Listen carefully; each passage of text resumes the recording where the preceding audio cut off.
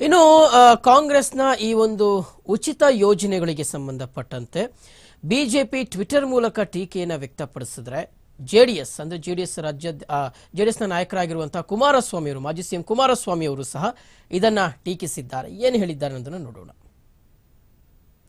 ಕೊಡ್ತೀವಿ ಉಚಿತವಾಗಿ. ಇನ್ನೇನೋ ಎರಡು ಸಾವಿರ ರೂಪಾಯಿ ಕೊಡ್ತೀವಿ. ಇದು ಯಾರಿಗೆ ಕೊಡಬೇಕು ಕೊಡೋಣ?